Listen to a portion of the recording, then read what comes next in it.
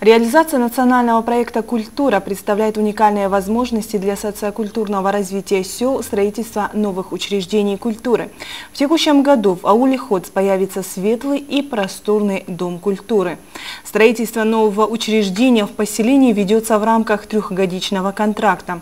На данный момент на объекте производятся отделочные работы, монтаж инженерных систем, начатые работы по планировке и благоустройству прилегающей территории. Здание будет располагать зрительным залом на 300 мест, гардеробом, административными и техническими помещениями.